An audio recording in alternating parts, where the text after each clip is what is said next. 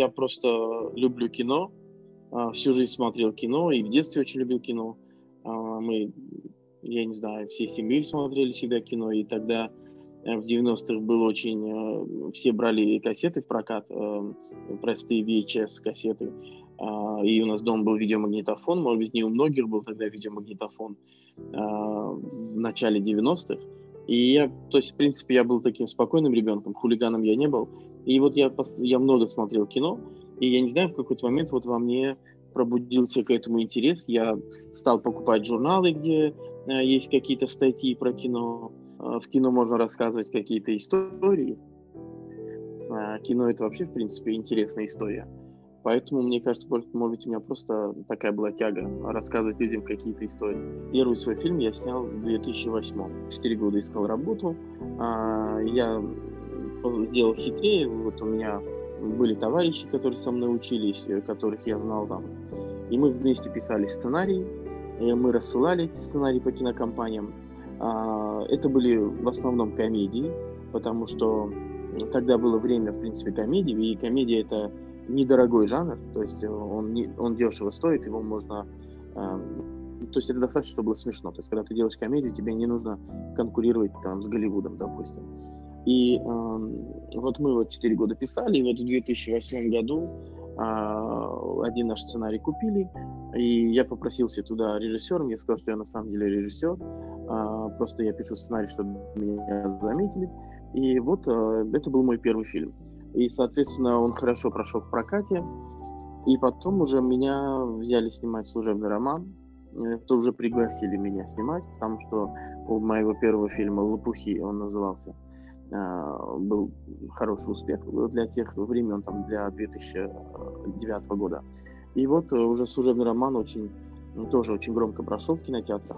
Мымров про меня не спрашивал. Пусть ко мне зайдет Новосельцев. Да какой Новосельцев? В том-то и дело, что никакой. Безинициативный. Принтер не отвечает. У вас даже принтер не отвечает. С 2014 там э, я вот немножечко в более серьезной режиссуре, да, там это еще началось у меня есть э, голливудский фильм, называется «Ограбление по-американски», а, где играет э, Эдриан Броуди.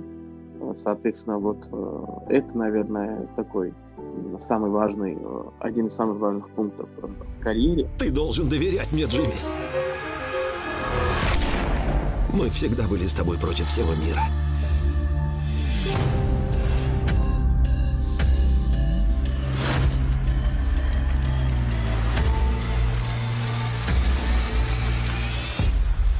Землетрясение мы сняли в 2015 году, это было 5 лет назад, это уже давно, на самом деле.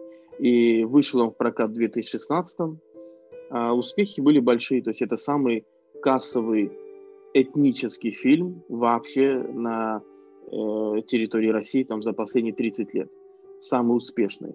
Ну, то есть э, это, по сути, кино про армян, с армянами в главных ролях – и оно в России очень успешно, его очень любят, это кино. Почему я его решил снять? Потому что, когда было землетрясение, мне было 4 года, я, мы были в Ереване, я был в детском садике, и у нас повылетали стекла. Я помню, у меня мама моя была у меня воспитателем, и там, мы бежали на улицу. Я помню панику, и я вообще помню всю эту ситуацию. Э, помню это горе, которое обсуждалось так, и ну, помню все, то есть помню, как и родственники ездили помогать, и даже гробы помню, которые везли по, по городу. То есть э, на меня, как на ребенка, это произвело большое впечатление. И я всю жизнь мечтал сделать об этом кино.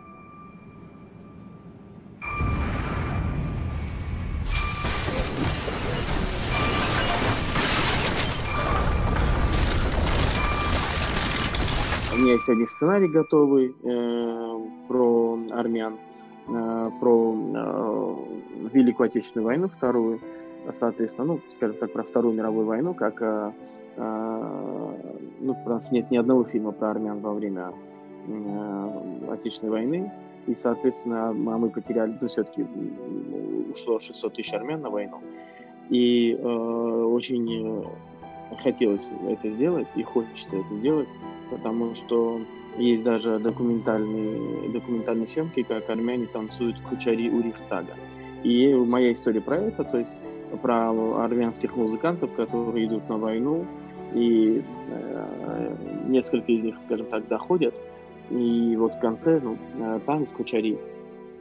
В прошлом году я хотел сделать документальное кино про геноцид, и э, мы, я, папа, там, брат мой, еще несколько человек, мы поехали, я, я говорю, в Западную Армению, но сейчас это Восточная Турция, мы поехали вот э, в Эрзрум, в Карс, в Терджан, вот в эти города, откуда мои предки. И мы там это все снимали, изучали, снимали вот какие-то участки, где, а, ну, как бы точно армяне бежали во время геноцида, там, мосты, Аракс и очень много каких-то таких вот сделали документальных съемок. Я хотел, ну, сделать документальное кино там на день, день геноцида. Я просто думаю, что, может быть, я успею это сделать в этом году, 24 апреля. А если не успею, то, может, то наверное, в следующем. Я каждый год приезжаю э, 3-4 раза. Э, я, в принципе, люблю Армению.